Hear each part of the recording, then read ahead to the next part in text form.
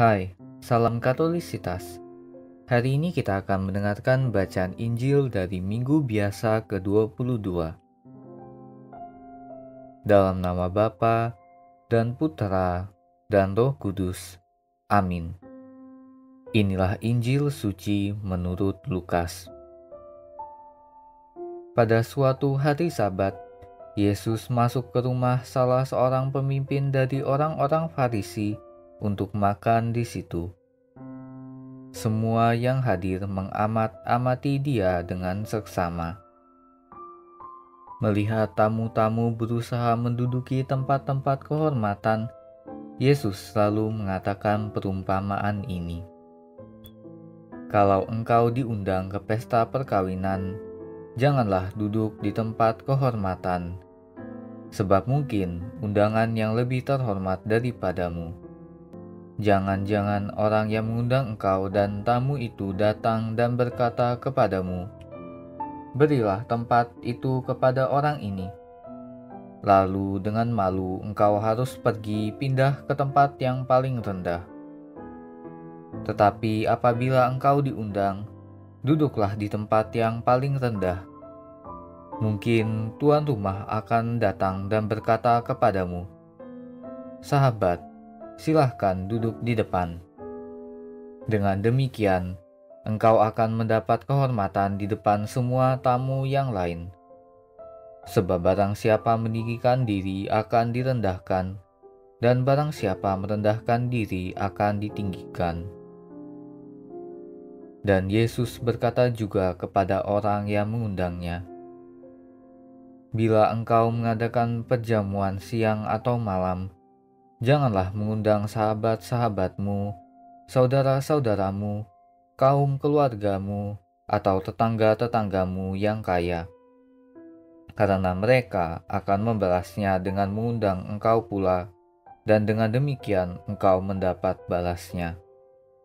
Tetapi apabila engkau mengadakan perjamuan, undanglah orang-orang miskin, cacat, lumpuh, dan buta dan engkau akan berbahagia karena mereka tidak mempunyai apa-apa untuk membalas engkau, sebab engkau akan mendapat balasnya pada hari kebangkitan orang-orang benar. Demikianlah sabda Tuhan. Terpujilah Kristus.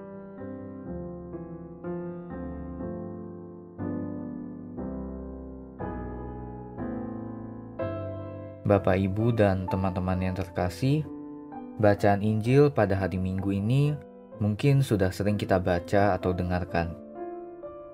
Saya pribadi sangat sering mengalami hal yang kurang lebih serupa dengan apa yang dikatakan oleh Tuhan Yesus dalam perumpamaan ini. Dalam sebuah acara, saya lebih memilih untuk duduk di belakang, tapi kemudian yang mengadakan acara meminta saya untuk maju dan duduk di bagian depan. Sepertinya Tuhan Yesus menghendaki kita untuk belajar kerendahan hati dan selalu memilih tempat yang terendah.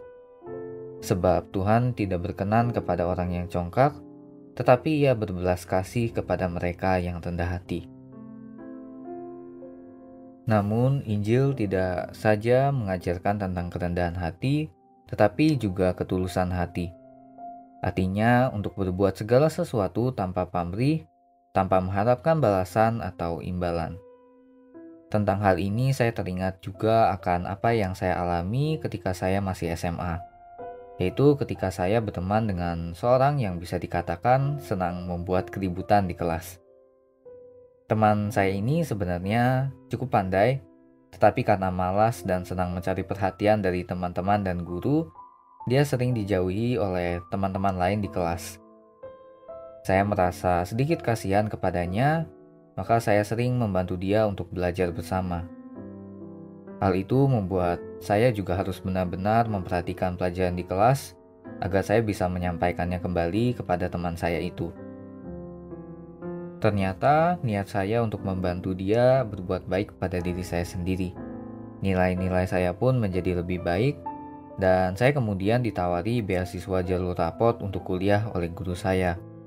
Dan puji Tuhan, saya mendapat beasiswa penuh. Teman saya kemudian juga bisa lulus dengan nilai yang baik dan dia bisa berkuliah di luar negeri.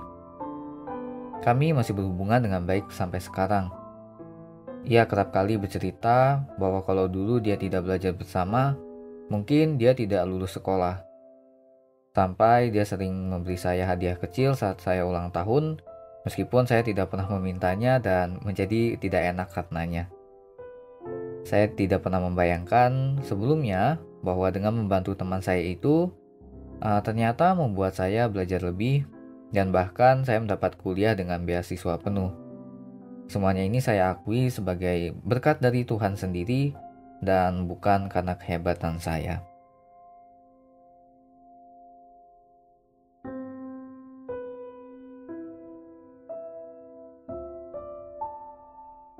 Bapak, Ibu, dan teman-teman yang terkasih, Tuhan Yesus menghendaki kita untuk menjadi rendah hati.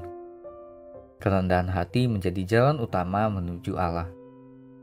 Santo Agustinus mengajarkan bahwa ada tiga cara menuju jalan Tuhan, yaitu yang pertama adalah kerendahan hati, kerendahan hati, dan kerendahan hati.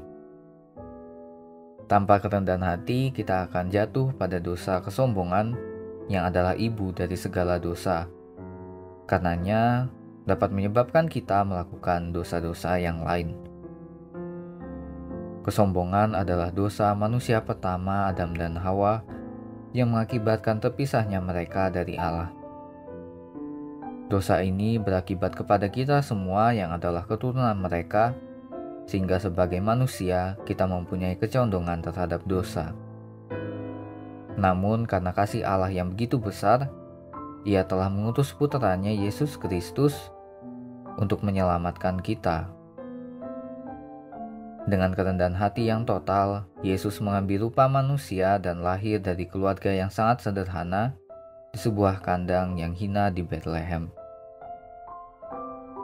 Kerendahan hati Yesus menjadi silih bagi kesombongan Adam dan Hawa. Yesus rela menderita dan wafat di salib demi kita umat manusia agar kita bisa selamat Padahal tanpa kita pun Allah sudah berbahagia dan sempurna adanya. Tetapi ia tetap mau menyelamatkan kita agar kita dapat kembali bersatu dengannya. Rahmat keselamatan ini harus kita tanggapi. Salah satunya dengan kesediaan kita untuk meniti jalan kasih, yaitu dengan kerendahan hati kita mengasihi Allah dan demi kasih kita kepada Allah itu kita pun mengasihi dan melayani sesama. Namun, masalahnya sering kali kita merasa lebih tinggi daripada orang lain dan enggan membantu sesama, entah karena malas repot atau karena kita merasa tanpa membantu kita juga sudah merasa baik-baik saja. Atau sering kali kita menolong sesama hanya karena kita mengenal orang tersebut atau mengharapkan suatu hari orang itu juga akan membalas kebaikan kita. Kita enggan membantu orang lain yang kelihatannya tidak ada hubungan timbal balik dengan kita. Seakan-akan perbuatan baik itu seperti uang pinjaman yang kita berikan kepada orang lain. Dan ketika orang itu tidak menolong kita saat kesusahan, kita menjadi kecewa dan marah. Kemudian kita mulai mengungkit-ungkit masa lalu ketika kita menolong mereka. Tentu hal ini bukanlah yang Yesus ingin kita lakukan.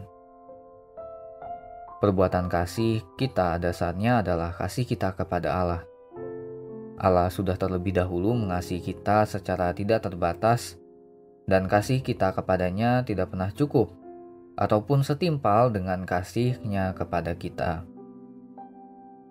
Karena itu kita membalas kasih Allah juga dengan mengasihi sesama kita karena Allah juga hadir dalam diri sesama kita, terutama mereka yang kecil dan tersingkir. Itulah yang diajarkan oleh Kristus yang mengatakan, "Apa yang kamu lakukan untuk saudaramu yang paling hina ini, engkau juga melakukannya untuk Aku." Oleh kasihnya yang besar, Tuhan Yesus rindu untuk selalu menjamah mereka yang kecil dan tersingkir bahkan mau hadir di antara mereka. Ia pun memanggil kita untuk melakukan hal yang sama. Santa Bunda Teresa dari Kalkuta menjawab panggilan Tuhan Yesus ini. Saat dalam perjalanan, ia melihat Yesus dalam rupa orang menderita, dan orang itu berkata, "Aku haus." Santa Bunda Teresa merasakan bahwa ini adalah sapaan Tuhan Yesus kepadanya, dan dengan segenap hati mau menjawab panggilan itu. Kemudian ia memilih untuk melayani mereka yang miskin dari kaum miskin, meskipun saat itu dia sudah memiliki posisi yang baik sebagai guru geografi di sekolah.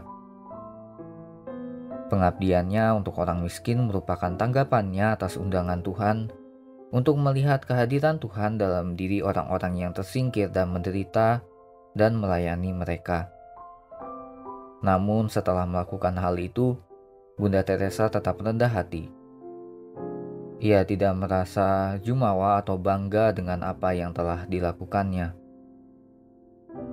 Setiap kali menerima penghargaan dari lembaga apa pun, ia selalu mengatakan dirinya adalah orang yang paling tidak pantas. Ia kerap kali menolak penghargaan itu, tetapi setelah dibujuk, ia menerimanya demi orang-orang miskin sebagai perwakilan dari mereka kepada dunia. Mari menengok kepada diri kita sendiri dan menilai sejauh mana kita sudah meniti jalan kerendahan hati. Santa Bunda Teresa memberikan tips 15 cara untuk menjadi rendah hati atau bertumbuh dalam kerendahan hati, yaitu mengurus urusan sendiri, tidak ingin mencampuri urusan orang lain, menghindari rasa ingin tahu yang berlebih, menerima pertentangan dan kritik dengan senang hati, tidak mengingat-ingat kesalahan orang lain, menerima apabila dihina dan disakiti, menerima apabila diabaikan, dilupakan, dan dibenci, tidak berusaha agar dikasihi dan dikagumi secara istimewa, lemah lembut dan ramah, bahkan andai orang yang memancing amarah kita. Tidak pernah menuntut agar dihargai, dan mengalah dalam perdebatan, bahkan jika kita benar, dan selalu memilih yang tersulit. Mari kita mohon rahmat Tuhan agar dimampukan untuk mengikuti jalan kerendahan hati dan kasih, sebab demikian kita menjadi serupa dengan Dia. Ya Tuhan, Bantulah kami untuk menjadi rendah hati dan penuh kasih. Semoga kami menjadi miskin di hadapanmu, agar kelak engkau dapat membawa kami masuk ke dalam kerajaanmu. Amin. Dalam nama Bapa dan Putra dan Roh Kudus. Amin. Syukur kepada Allah.